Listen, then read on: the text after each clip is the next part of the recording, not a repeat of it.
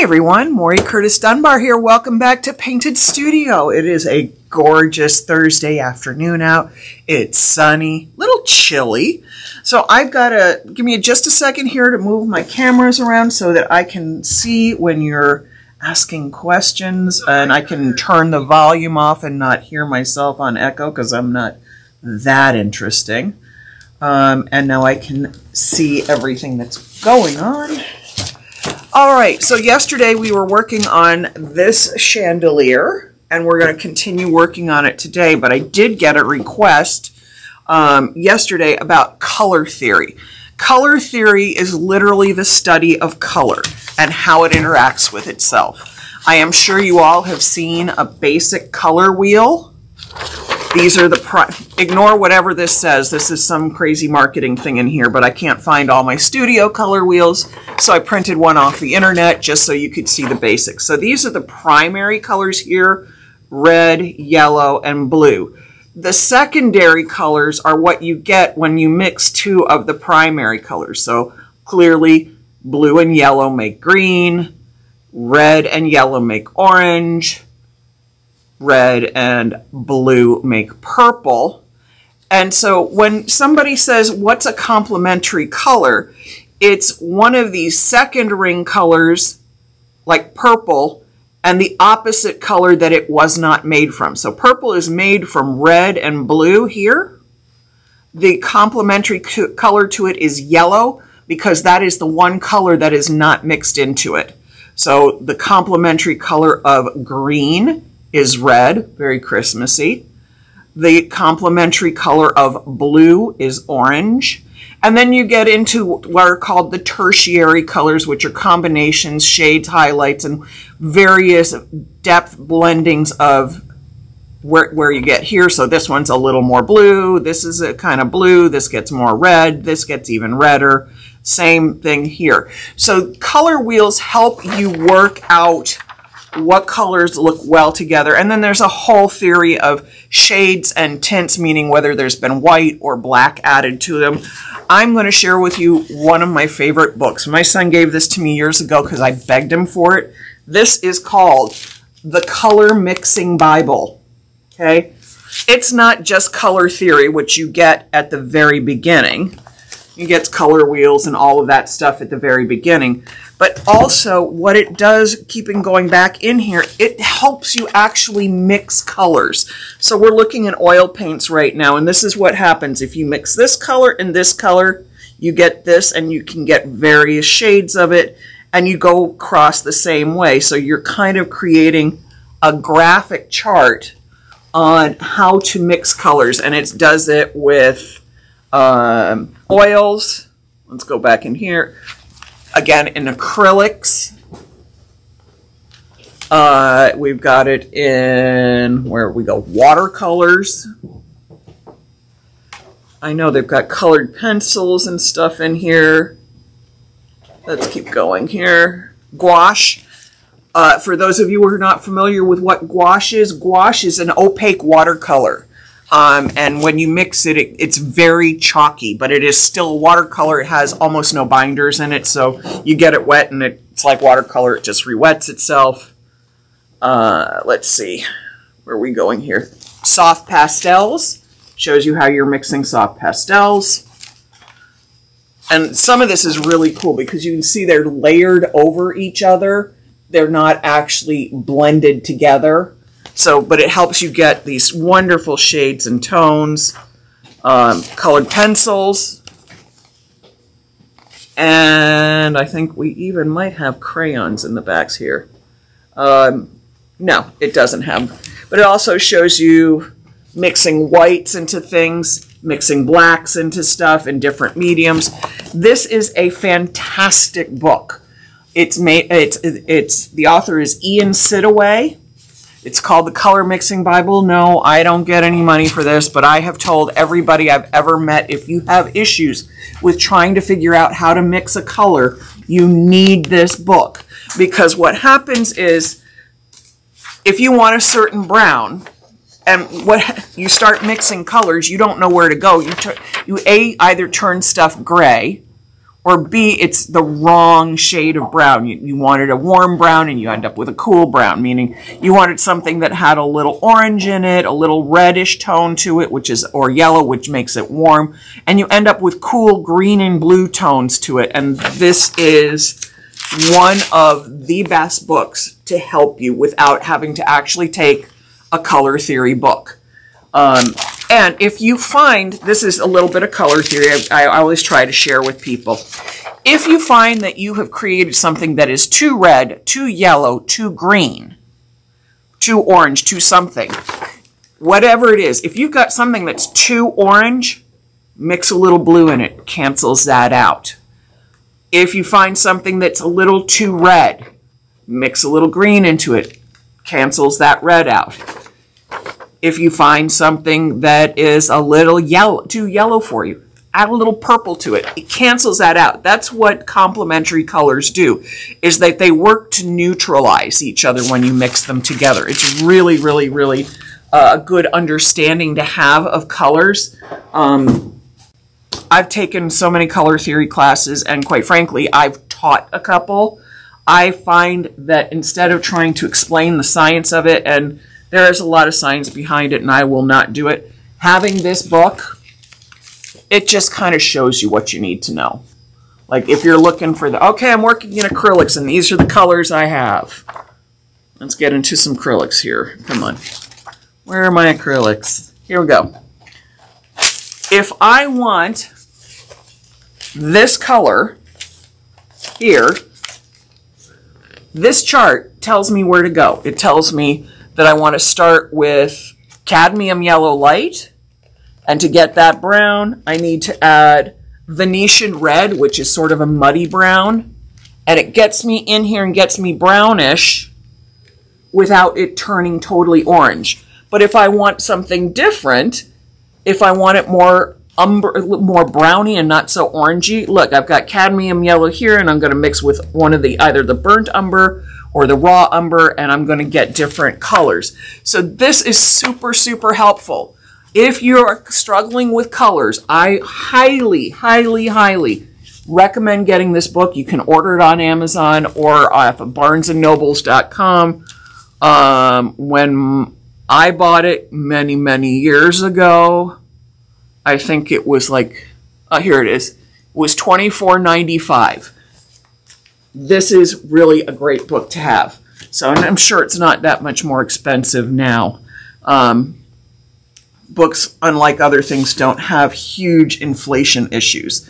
So let me check here, see if I've got any questions. Um, hi, Maddie and Janet and Cheryl and Alice. Oh, Connie, all of you guys are awesome. Alice Thank you're welcome, Maddie and Alice, for the color information. Listen, color mixing comes very intuitively to some people. It does not come intuitively to others. I had a little, I, I my friend Martin Allen Hirsch um, from Effects, he is an instinctive color mixer. He can get a color in his head and grab colorants and damn near get it perfect every time. Me, I'm close to that, but sometimes I need a little extra help, and that book is, you know, completely bailed me out of stuff sometimes. All right, now that we've talked, talked, and talked color theory, we're going to work on our chandelier. Now, I've been working on this already today. You can see up close here that I have been placing some dots on these. Why? Because they're going to, we're going to build layers of color with this. The last thing we're going to do is put foil, uh, put gold leaf size and we'll gild these, but we're going to finish working on the arms. So we're going to work on these for a while today. Um, I'm going to play with the camera angle so that you can actually see what I'm doing and that so I can see it too. So be patient with me while I play around with this. I I'm going to be very apologetic right now if uh, it makes you a little queasy when I start moving things around. That just sort of happens. All right, so we're going to move the camera angle. You're going to see a lot of strange stuff. So I am going to try here to get this down so it's where you can see it, and then I have to watch my own cameras here to see if I got the right spot. And I think I'm pretty close. So we should be able to see it. Okay, let me open this screen up and do that. I'm going to do it this way. All right, the angle's a little awkward because why would it be easy? okay, and I'm going to be reaching across from time to time just so that I can see um, what your questions are. So many times you'll see me working on stuff with regular paintbrushes, but I bought a couple years um, a mandala kit for painting on rocks, and it came with all of these uh, styluses in different sizes and shapes, and then it came with these little glass or plastic tubes so that you could make perfectly circular dots. Now, I practiced before I did this on my piece because I thought this tube was going to be the great solution. And then I realized that these are all twisted and that twisting gives a little bit of a concave spot and that wasn't going to work so well. So I've kind of done the front top part of this and now I'm going to start working on the bottom. I have plenty more to work on on here, but we're going to play with this right now.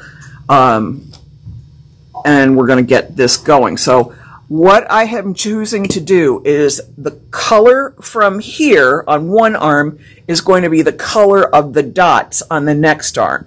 So this arm is purple, this green arm will have purple dots on it. This arm is green, this Florentine gold arm will have green dots on it, and so on and so forth. It made my color placement a little easier just to do it that way.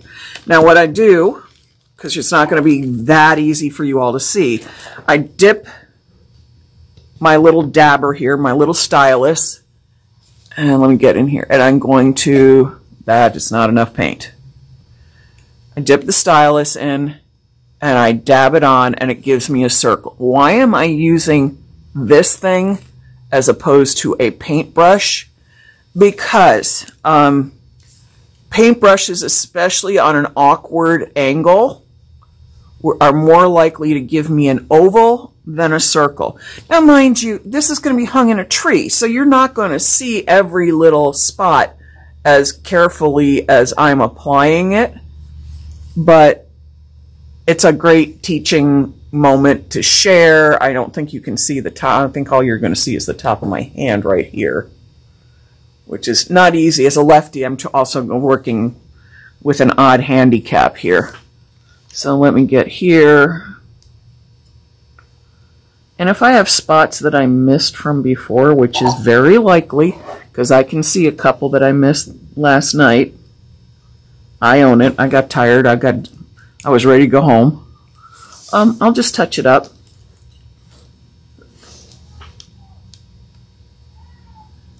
And then I'm going to try to get as far up into what we would lovingly call the crotch of this thing with the dabber, but I'm going to wait until I'm not doing that on camera so I can turn it straight to me and uh, get a, a better angle on it.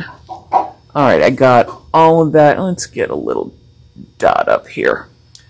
All right. And because this is this thing is stainless steel, all I'm doing is wiping the extra paint off on my apron, or if I had a rag sitting next to me, I'd use that. So we're going to turn this one now. We're going to go this way. So now we have, let's make sure I'm watching the camera here. Um, I want to make sure you all can see what I'm doing. Yeah, this is this is the purple one. So the purple one had the Florentine gold. Where is my big jar of Florentine gold? Let me check any mess comments here. Hey, Aaron and Mary, nice to see you here. Thank you for coming in. And if you see somebody wandering around behind me, that's our friend Miguel who is helping with our social media. He's up in my game so that, you know, I'm in the 21st century instead of being the dinosaur that I am. All right, so let me come in here This might be a little out of focus. I don't know how just how close up I'm being on your you're getting a nice view of my knuckles sometimes, I know that. Which I'm trying not to do, but that's still not, you know, it happens. Alright, so now we can roll it back a little. Now, I love doing this kind of stuff. I know some people can't stand it. They call it fiddly work or fuss work. I find it really, really, really meditative very, very relaxing. And there are some spots that I skipped last night. I really was ready to go home. Ah, no worries, I'll fix it. Leave this for tomorrow. I'm done for today. Okay. I'll see you tomorrow. You it for today. No problem. Thanks, Miguel. Miguel is heading home for the day. He's tired of listening to me talk too.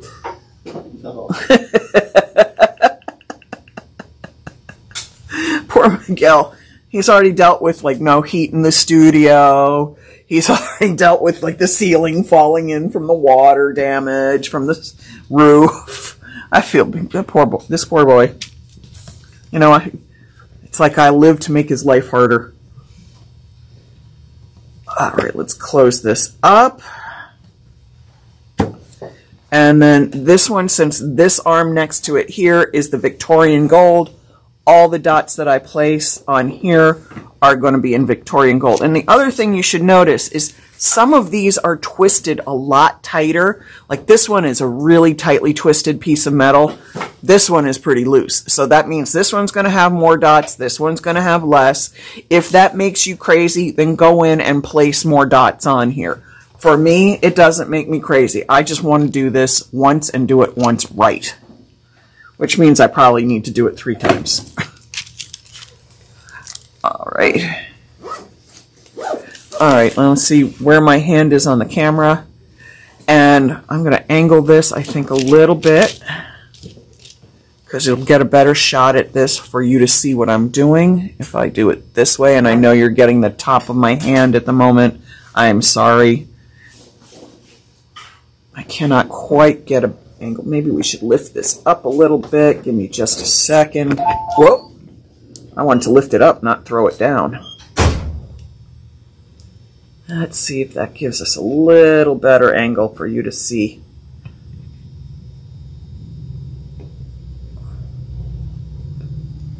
And, and we'll tilt that forward for you. There we go. I think you'll be able to see a little better. I'm sorry you're still going to end up seeing my hand a lot, but... Me see if I can get in here and you can see the dots that I'm laying and not just my hand. And this is a little bit of a challenge because you're always trying to find that one spot that's always consistently facing in one direction. And when it's really twisted like this, that can be harder.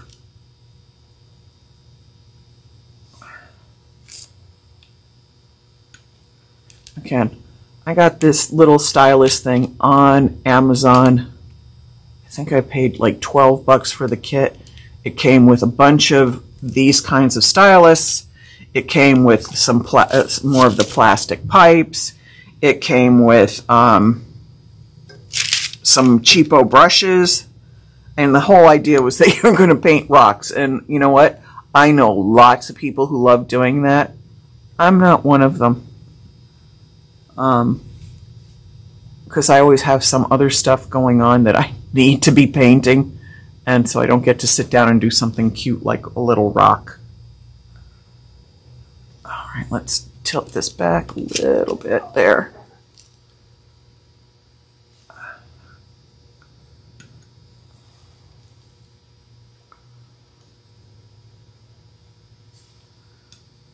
Again, we're using Roberson's liquid metal. Uh, yesterday, I had could not remember if this product is exterior rated, and it is indeed. Uh, I went and checked for you, so yes, this is an interior and exterior product. By the way, it actually comes in jars so big you can paint this on your walls. I mean, imagine your walls, some of these gorgeous metallic colors. So that's one of the things I love about it. Um, but it does recommend that if it's going to stay consistently, because it says on the websites that in general this does not need to be top coated because you're not worrying about tarnishing. However, if it's going to be outside consistently, you, they do recommend an exterior grade top coat on it. So we can use, uh, since we're going to have to seal up the candle cones here and here, after I gild them with Whitson's leaf lacquer, we can coat the whole thing with leaf lacquer, or we could move on to another product like um, C Fofex C500 or AquaGuard Gloss or something along those lines. So you're not um, going to be stuck worrying about whether or not the products will hold up outside.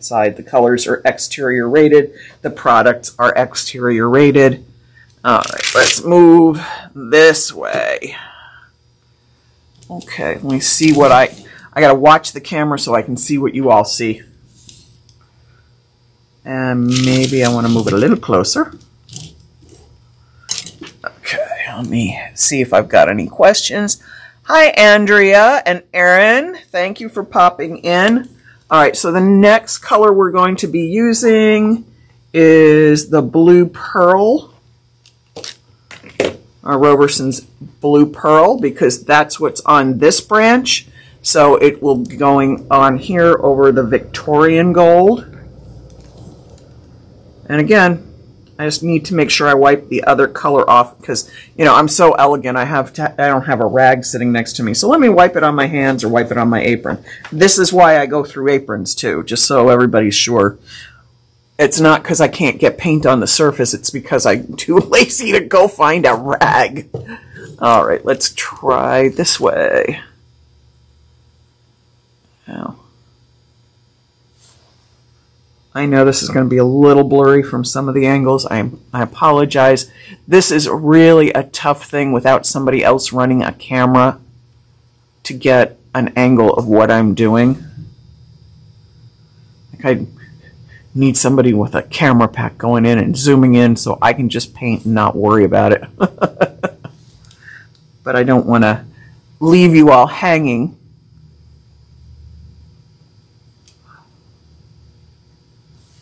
This is going to look so cute in my garden. Oh my gosh. I'm in love.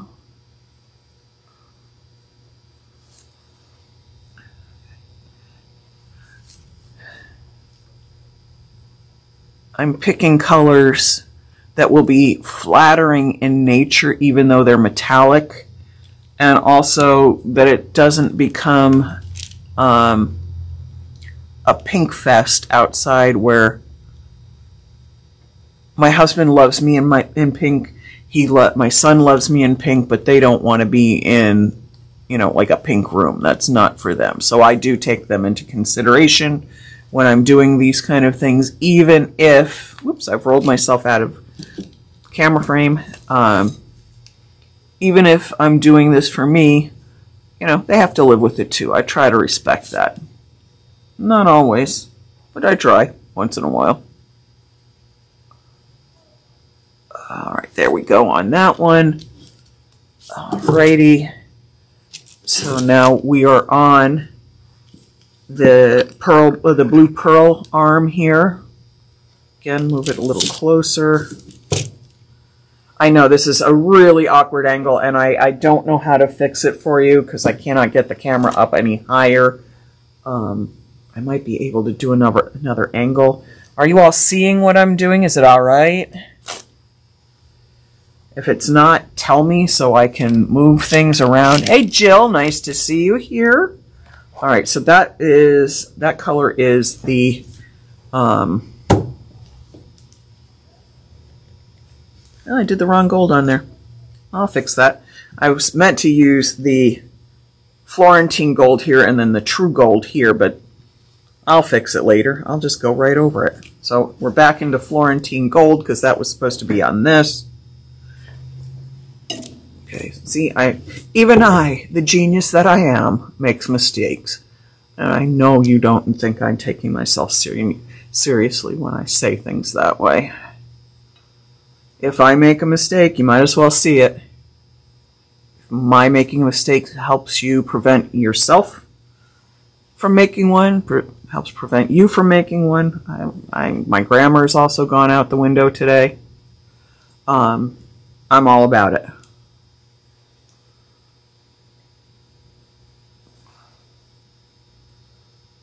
Let's go here.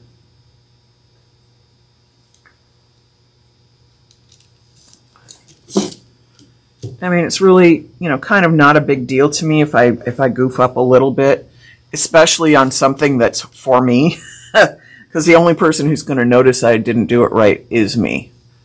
So once I know this is dry, I'll come back in and fix those spots that I painted with this gold with the correct gold that I meant to put on there.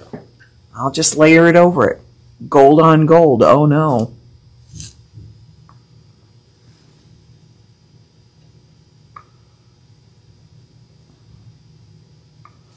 I'm really liking this though. It's so cute and it's so fun. This is going to look so much fun in my in my garden. Oh, yay.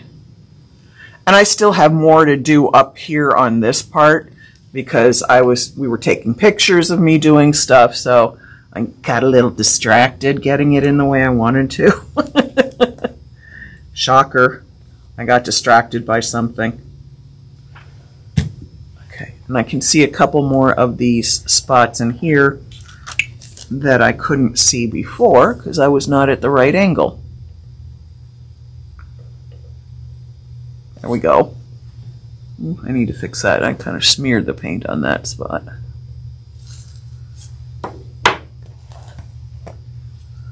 All right. While I'm at this angle where I can see to correct things, I might as well do it. Okay, this is, what color is this called? This is called Classic Gold.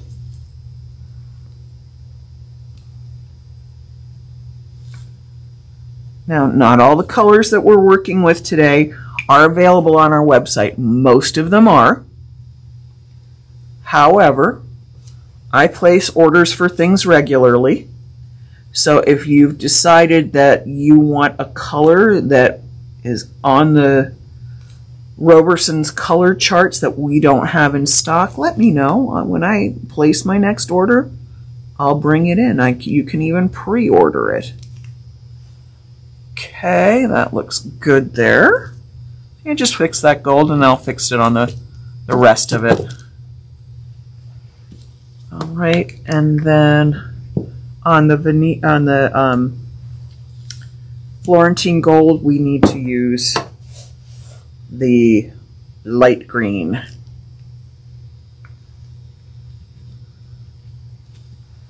Let me get this.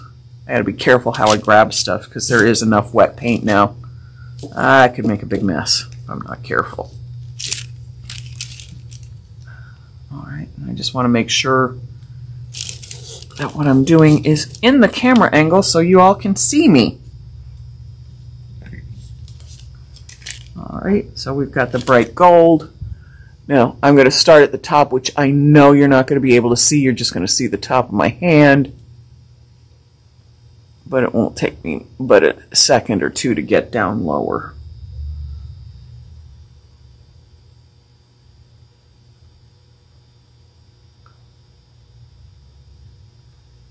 And then I'll show you without going too deep into it what we're going to do next. Now, because these were square pieces twisted, there's actually more places for me to put dots on here if I want to. Um, I'm not going to do that because I really don't want to lose my mind. And I don't need this to look completely like it has beautiful metallic measles. I just want to have it on the top and on the bottom as extra detail that's going to catch light and be so pretty.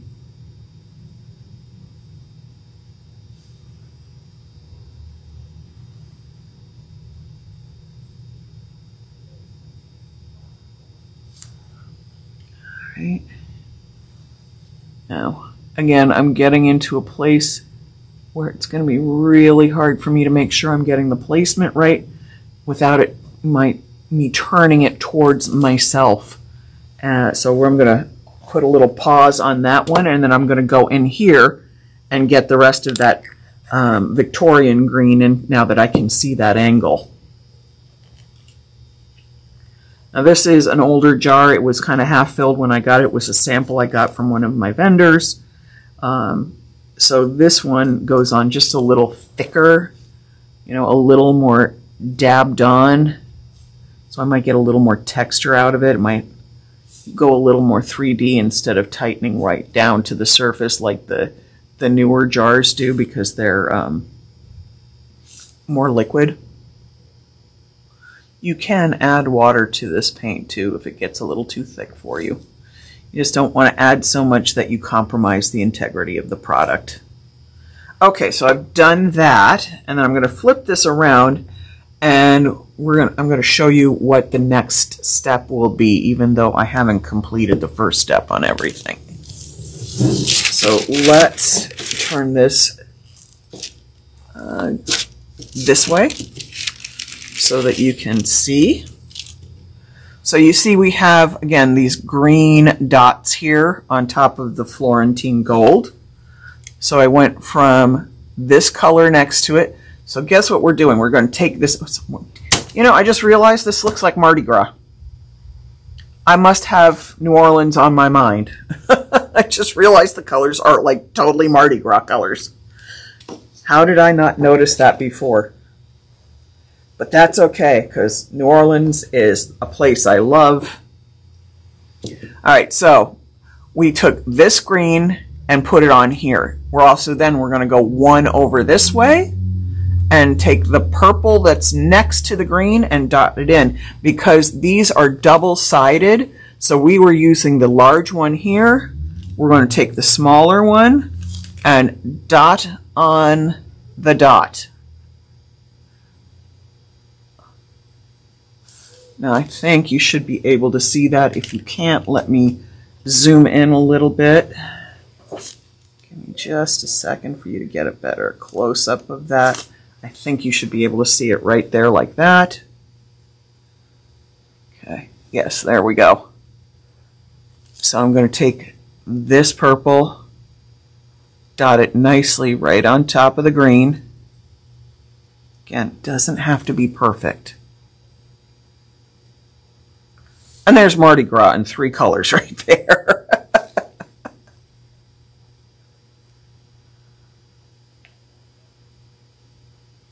so this is truly where we're going with this. And I know you're seeing this part kind of flagging around. I'm sorry.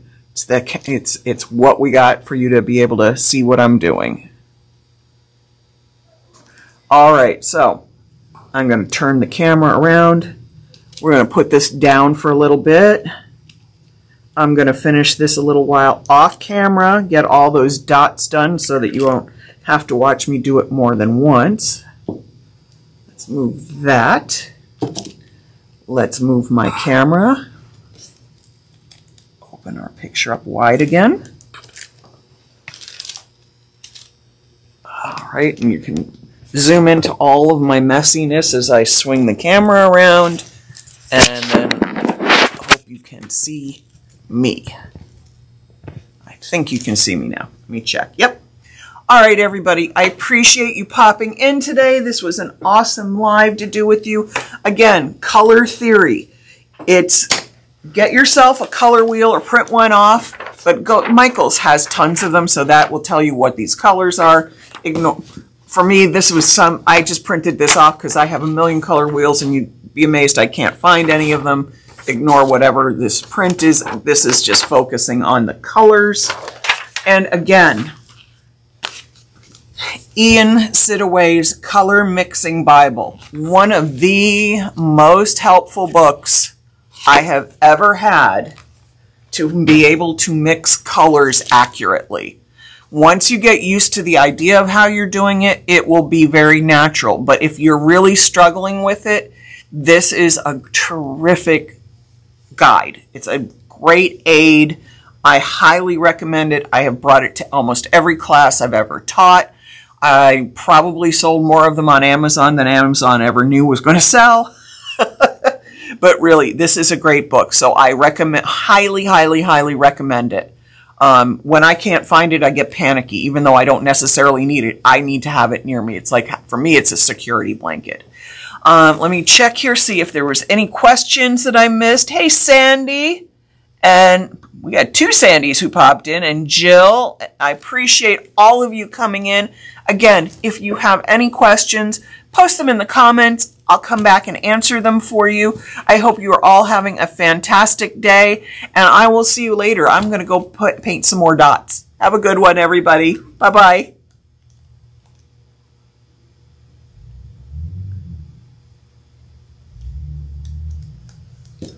Oh, it doesn't want to let me hang up.